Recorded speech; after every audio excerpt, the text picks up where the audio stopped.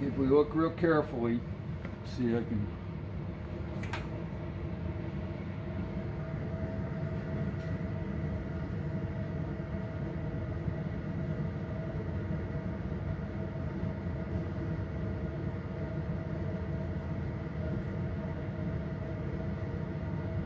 Okay, so the reason why it turned to a cherry is because the gas above it is sulfur dioxide that's reacting with the water to form sulfurous acid, which in the upper atmosphere comes down and we call that acid rain. So the universal indicator in cherry is a strong acid.